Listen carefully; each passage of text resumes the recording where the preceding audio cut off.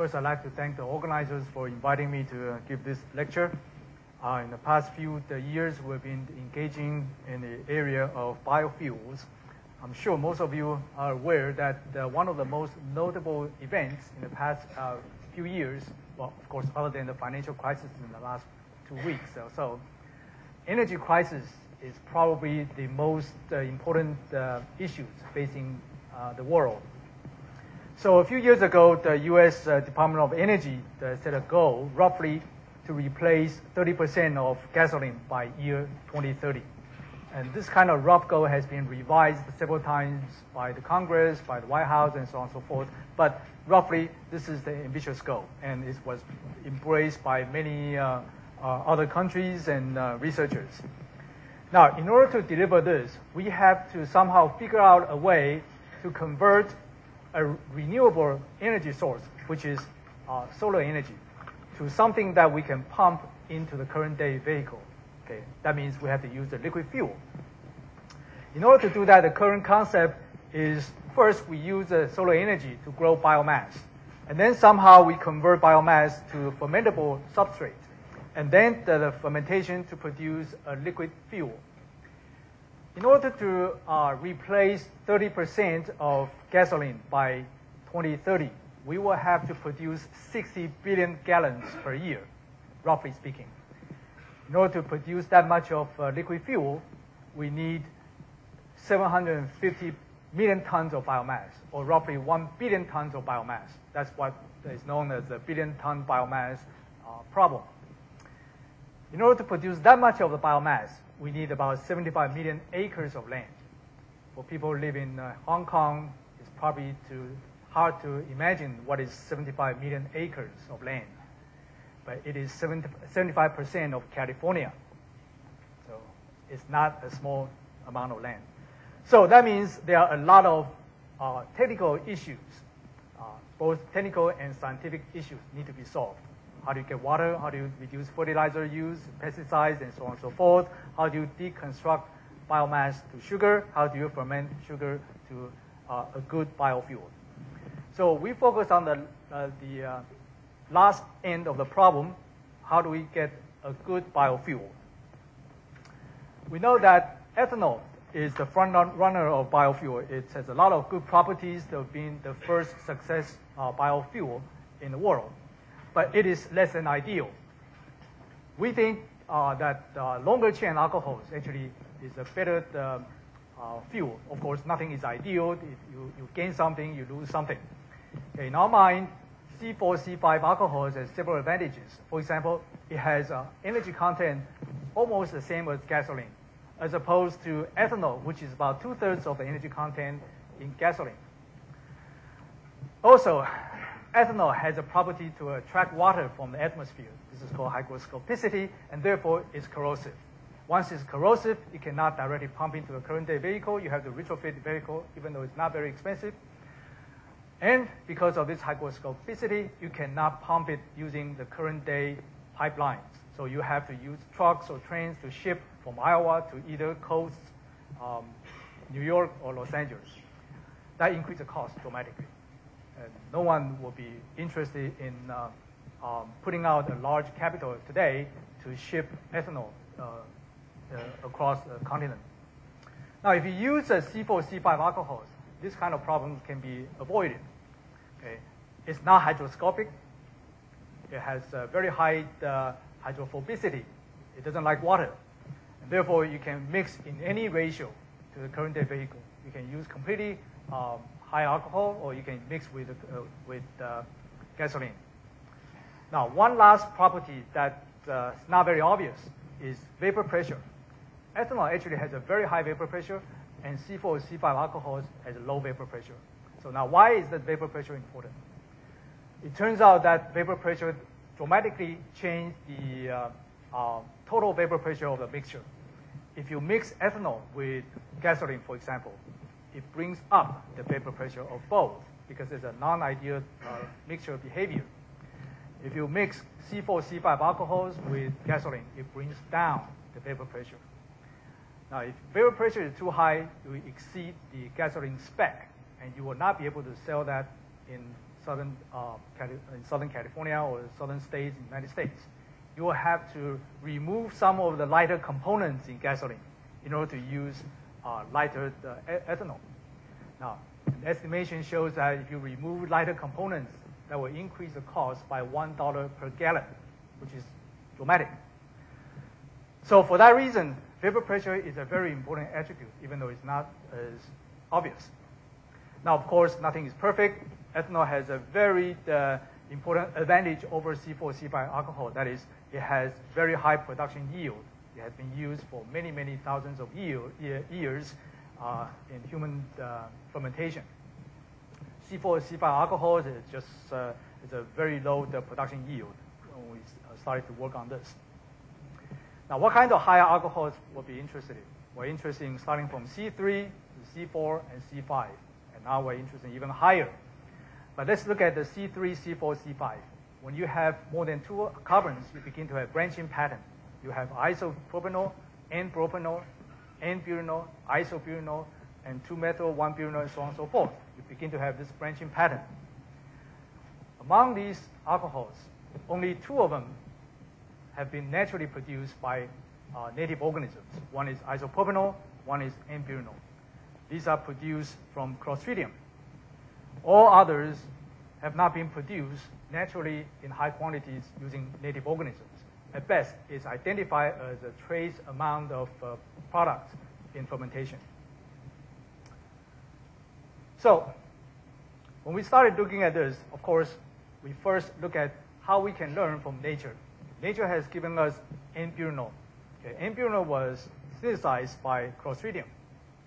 This Clostridium was uh, uh, uh, first identified Charles Weismann uh, in England uh, in the, about 1910 or so. And this was identified as the first uh, organism that produced an industrially important solvent. Chaim Weizmann, by the way, later became the president, the first president of Israel. So, around the time of First World War, this uh, Weizmann process was the uh, main process to make a synthetic rubber. And then between the two uh, world wars, DuPont actually make a lot of uh, butanol uh, for various applications. After Second World War, the petroleum price and the, the advance of petroleum processing uh, become so cheap that it replaces the uh, fermentation processes for the Clostridium-based N-butanol production become uncompetitive. So, if you look at the uh, history of N-butanol fermentation, you find that after about 100 years of uh, optimization, the best that uh, uh we can get, the whole field, is a little less than 20 gram per liter, and with a yield of about 30, about uh, um, 83% of theoretical maximum. So this is the two numbers I'd like you to remember for the next uh, 30 minutes or so. Less than 20 gram per liter and about 80 gram, 80% of theoretical maximum. So if we were to develop an organism, these are the benchmark numbers that we have to compare with. So as a metabolic engineer and synthetic biologist, uh, we of course want to do something different from nature. So the first thing we thought about is E. coli. Why E. coli? Well, I don't have to convince you that E. coli has several advantages. It grows very fast, doubles every uh, 30 minutes or so. It's easy to manipulate. We can change E. coli to do many exciting things, as we heard in this meeting and previous meetings. Because we can manipulate everything, therefore it has a high potential for homofermentative production. So we don't have to deal with the byproducts that hopefully increase the yield. And also one last importance is that it is oxygen indifferent. And that turns out to be very beneficial, at least for graduate students. You don't have to work in an aerobic chamber all the time and increase the speed of development quite a bit. It also has some cons. For example, uh, E. coli never seen butanol before, so it's probably not very tolerant to butanol it turns out that it's not so bad. Okay? The native Clostridium can resist to butanol about 1.3%, whereas E. coli can go up to about 1%. So some differences, but not that much. And the question remains as, is it possible to produce these higher alcohols in E. coli? And not just produce a small amount, produce them efficiently. Okay, produce these kinds of, of, of alcohols in a small amount is not a big challenge. Produce them efficiently, that's a big challenge. And that's what we need for biofuels application. So we started out working with uh, this kind of problem. We use something that's relatively simple to work with. That is a smaller uh, um, uh, compound, isopropanol. Isopropanol turns out to be only three more steps away from a native E. coli met metabolism. E. coli can produce acetyl-CoA through various processes. Uh, it's at the end of the glycolysis, the beginning of the TCA cycle. All you have to do is now stick three enzymes from various sources, and hopefully you can produce isopropanol, isopropanol from acetyl-CoA. So we did just that. And sure enough, almost the first few tries, we got it to work. We can quickly produce uh, more than 2 grams per liter of isopropanol, C3 compounds. And a little bit of optimization showed that we can produce 5 grams per liter with a prolonged uh, fermentation. Imag uh, uh, keep in mind, everything we did is in bench, uh, bench scale flasks. This is not even optimized in fermenters, so there's still a long way, uh, a large room to improve. Nevertheless, this gives a proof of principle that yes, we can easily manipulate this kind of, uh, of uh, intermediate metabolism to produce the fuels of our interest and in E. coli. So we moved on to a little bit more challenging problem that is to produce N-butanol from E. coli. So we first uh, clone all these enzymes from Clostridium, trying to move them into E. coli. And that involved uh, several different enzymes. It turns out that the second example here is a little bit more difficult. We have to do a lot of optimization, um, check the enzyme activity to make sure that enzymes are properly expressed, change various promoters, various expression levels, copy numbers, and even gene order, orders, and so on and so forth. And finally, we got a little tiny peak in GC mass spec, identified as N-butanol. So that was, to our knowledge, the first peak from, uh, from E. coli. and we did a little bit more optimization by knocking out the host uh, uh, chromosome uh, to avoid competing uh, pathways. And by doing that, we were able to increase the production to about th uh, 300, milli, uh, 300 milligram per liter. Okay, very small amount compared to what we need, but it was encouraging. So then we keep optimizing, and for some reason, we could not break the above uh, around the half gram per liter. So rough, roughly, we stopped there. At that time, we have two choices. We can continue to optimize this process. Okay, I'm sure sooner or later we're going to get it to work, or we can think of uh, another strategy. We ask ourselves the question, why does this Clostridium N-butanol pathway doesn't work so well in E. coli, whereas the isopropanol pathway works pretty well? Is there any other way we can use to make this similar compounds? So we went back to the drawing board. It turns out that most organisms use this kind of chemistry to make alcohols. They take a keto acid, pyruvate, first uh, go through an oxidative decarboxylation, makes acetyl-CoA, and then two steps of reduction goes to alcohol. This is the same chemistry used in human beings, in E. coli, in most other organisms. Now, nature has extended this pathway to higher alcohols to make N-butanol. And only Clostridium has this pathway. To my knowledge, to my imagination, if you will, Clostridium evolved this pathway not to produce N-butanol. It's actually to avoid toxicity of acetate, which is the immediate challenge of low pH. So convert acetate to N-butanol, you can gain some more time to survive. So use practically the same type of chemistry to uh, uh, use uh, to produce N-butanol. You can see involve a lot of steps. On the other hand, there is another type of chemistry that nature evolved to make ethanol. That is direct non-oxidative decompos uh, decarboxylation from pyruvate to acetyl-CoA. And East Saccharomyces cerevisiae and Zymomonas use this pathway to make ethanol. Now, for those of you who are familiar with ethanol fermentation, you know these are exactly the two organisms that produce lots of ethanol. E. coli and all other uh, organisms produce ethanol, but not very efficiently. So immediate hunch to everyone is that this is the most efficient pathway. It is the more efficient pathway compared to this tortuous uh, CoA-dependent pathway. The question now is, can we extend this pathway to produce higher chain alcohols? Okay. Nature has not done that, but we as engineer, can we engineer something so that this has become possible? So it turns out that it is possible if you understand chemistry a little bit better. Pyruvate is a keto acid.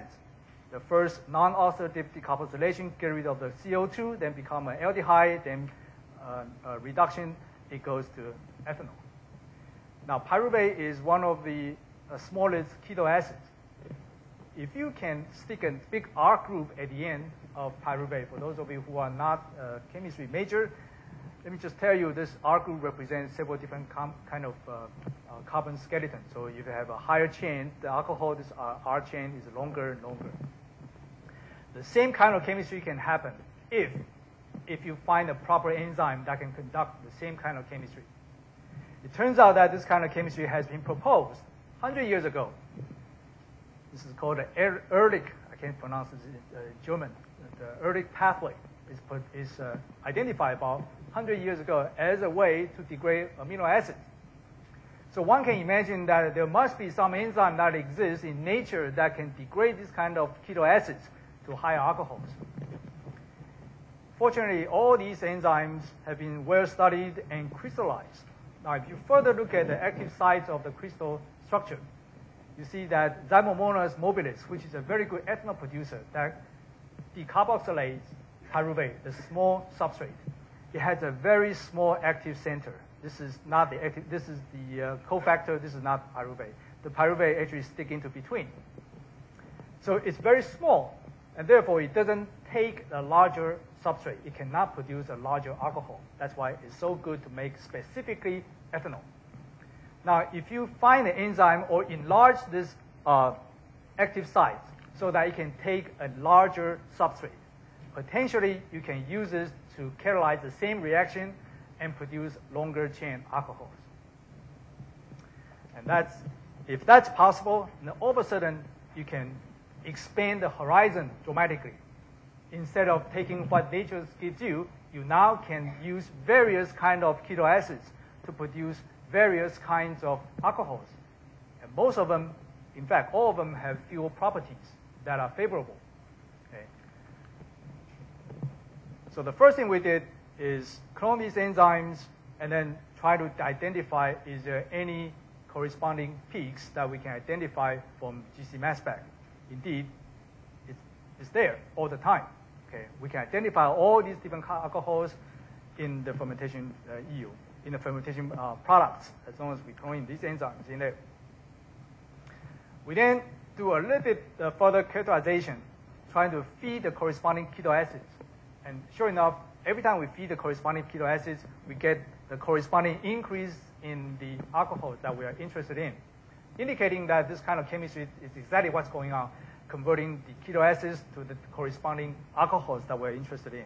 Okay, so the chemistry works and works in E. coli. Now, the challenge is, is then becoming how do we supply these kind of keto acids to E. coli? We can actually convert glucose to various kind of these keto acids. These keto acids are conveniently located in the biosynthetic pathways of many amino acid pathways. For example, 2-keto isovalerate is an intermediate in valine biosynthesis. Okay. 2-keto 4-methyl, you don't have to know these names, it's kind of a mouthful. 2-keto 4-methyl pentanoate. Okay. It's a precursor in leucine biosynthesis. So there are many, many kind of these kind of, of these keto acids that you can steal, if you will, steal away from amino acid pathway and shoot it down to the uh, alcohol pathway to make biofuels for yourself. So we focus first on this uh, isobutanol production. So if you look at this in detail, you see that pyruvate, as I said earlier, is the smallest keto acid.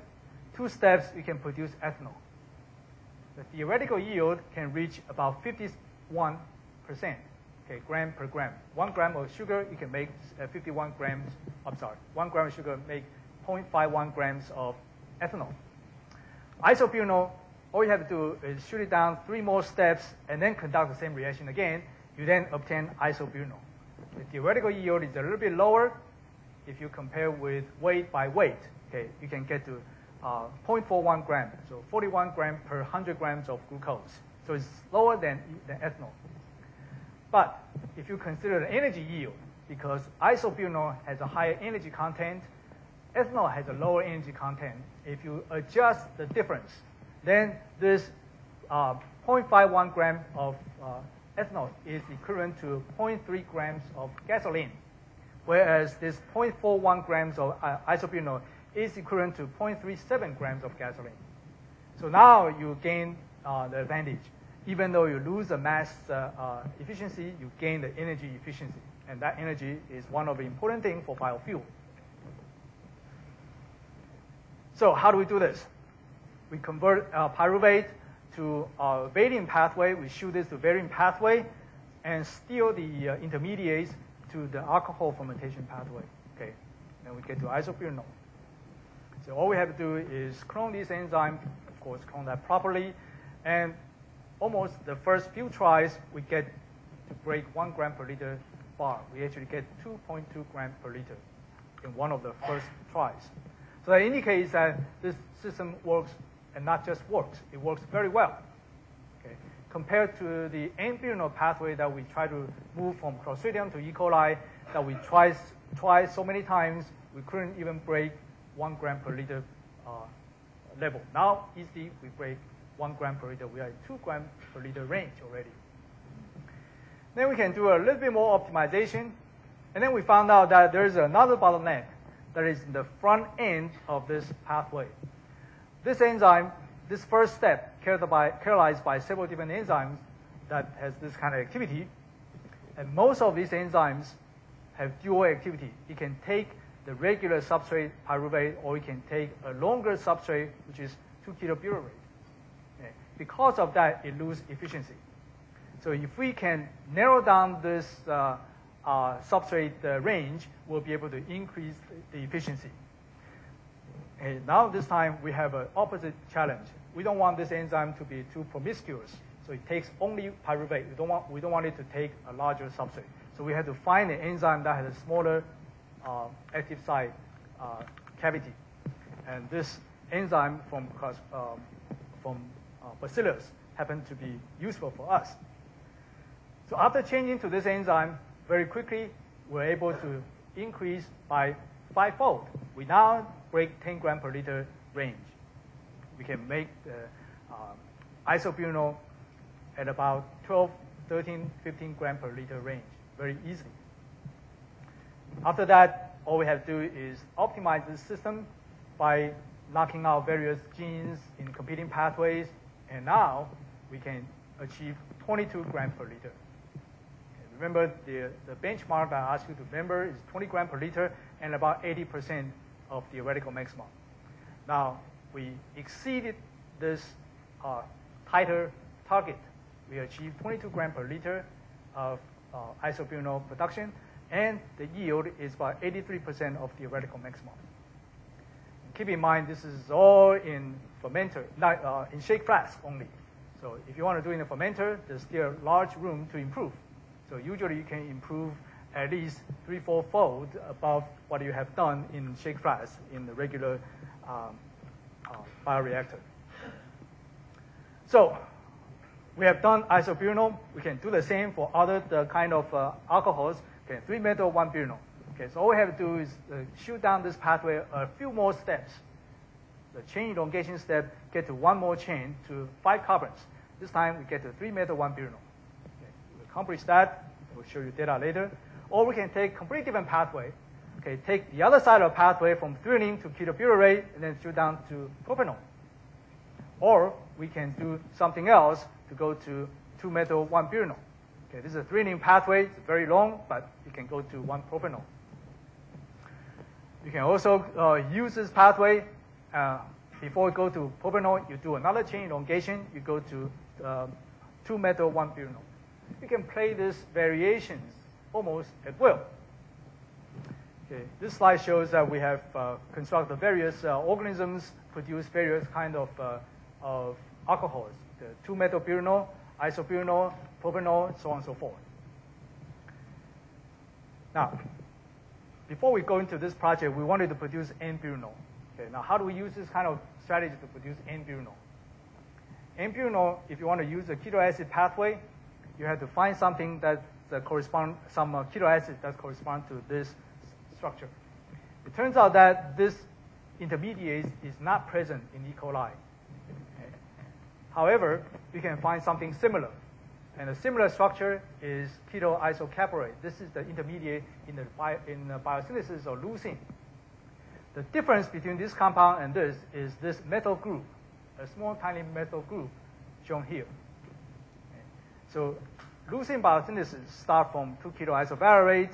So we perhaps can steal this kind of pathway and hopefully it can use a smaller substrate. Now we're playing this game. Sometimes we feed larger substrate, sometimes we use smaller substrate. We hope to steal the same kind of chemistry to produce uh, different kind of, uh, of structures. If we can use this, we can produce N-butanol.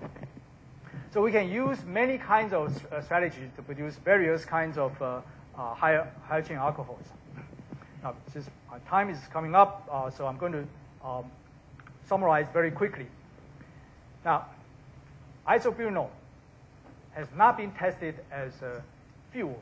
N-butanol has been tested several times, but isobutanol has not. Now we produce isobutanol so well. Does it actually work as a fuel? Well, it does. Isobutanol and N-butanol has very similar physical chemical properties. So they have the same kind of energy content, same kinds of hydrophobicity, and so on and so forth. On top of that, isobutanol, because of the branching pattern, it has a higher octane number. What is octane number? For those of you who are not familiar with this, the higher the octane number, the easier it burns in the internal combustion engine, and therefore it sells at a higher price. Okay, you have to pay a premium for this. Ethanol is uh, very good in that respect. But if you use butanol, you win on every aspect, but octane number you lose. Now, if you use isobutanol, you combine the best of the both worlds. Okay, you can uh, capture the properties, the good property of N-butanol, and also enjoy the, the, the high octane number. The company that uh, licensed our technology actually tests this in a real engine, the Chevy engine, in various kind of RPM by mixing isobutanol in various com composition with gasoline. In every mixture, you see that isobutanol mixture perform either the same or better than gasoline. If you look at the vapor pressure, as I mentioned earlier, vapor pressure is very important for biofuel. It actually brings down the vapor pressure of the mixture, allowing the gasoline manufacturer to mix in the less expensive but, but lighter components, and therefore uh, drive down the cost dramatically. And then the octane numbers I, I, I, mentioned actually exceed 100. Okay, so that's a good news for uh, fuel application. And then if you actually measure the uh, miles per gallon, you can see if you mix at about 20% isobutanol with gasoline, it actually increases the miles per gallon by about 5%, even though the energy content is lower. Okay, this is the energy content actually lower. This is BTU per gallon. Energy content is actually lower, but miles per gallon actually increase, presumably because it burns more efficiently. So what's new in this strategy? Let me summarize this. It harnesses the cell's most natural pathway and therefore its non-toxic pathway for production of fuels. Because of that, it opens the possibility for many fuel grade C4, C5 alcohol production. And, and because of this efficiency, this is a, a, a non-toxicity, it can be very high efficient production and is easily transferable to any other organism because all organisms have biosynthetic pathway for, for uh, uh, amino acids. So you don't have to work too much to get to this point.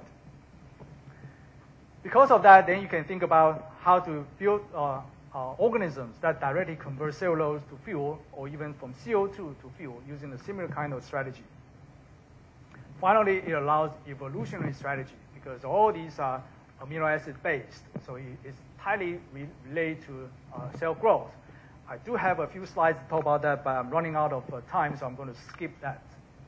These are the slides talking about evolution. I'm going to skip.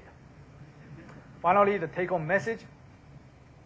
Okay, we think that uh, high chain alcohols potentially can be our next generation uh, biofuel because it's a high energy density, compatible with current infrastructure. You don't use, you don't have to change your vehicle. You don't have to use a new pipeline to ship it. It gives you better air quality. Um, it has a more efficient production process. Finally, because it is uh, more hydrophobic, and therefore you use less water in the whole production process. Okay, this was an added benefit as we know that water become an issue these days. Finally, I'd like to thank my very capable grad students and postdocs uh, who are working in uh, biofuel. Shota Atsumi is one of the main postdocs working in this. All others are uh, grad students are still working on the Taizo. The Hanai was a, a visiting professor from Japan. I'd also, also like to thank my other members of, of my uh, lab who are working on related projects, but not directly on biofuels.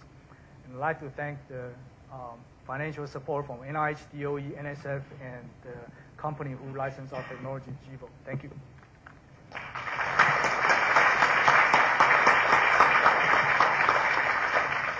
We have time for just maybe questions.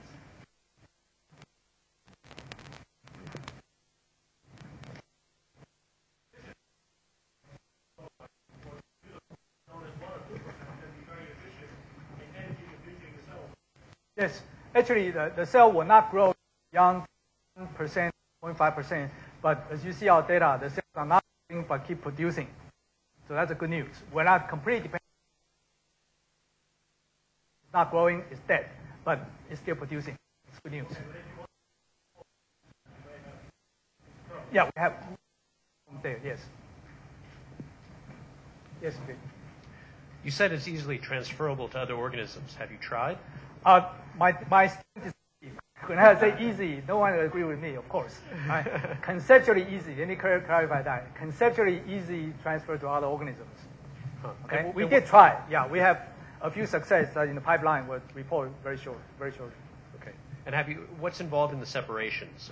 Ah, separation actually is pretty simple. Okay. Uh, first of all, you don't use the distillation because some people uh, look at that distillation. Well, it doesn't make any sense that you could use uh, high energy to do that. Uh, there are many different ways that people publish to to separate the N-butanol, uh, involving pervaporation, the membrane process, and many different things you can use. And the same thing can be applied to uh, isobutanol.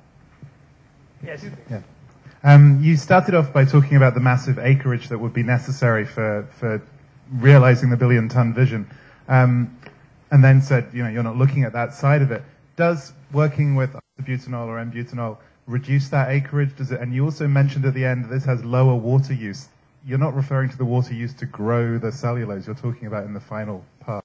Uh, no, the, the second uh, question first. Uh, we're talking about only the production phase that use less water. Yeah. Uh, the first part, how does it impact the, the land use? Well, we have a more efficient process. Number two, eventually we're going to something. Uh, it's a, um, so, for example, we're going to uh, a process that directly convert the uh, cellulose to, to bu- isobutanol or CO2 to isobutanol, then uh, we can impact uh, that way. In, in short, if you improve the efficiency every, uh, every step in the link, you're going to improve the uh, land usage that way. Just to be clear, cellulose still requires land. I agree. Okay, well, unfortunately, we'll have to, that'll have to be the last question, so thank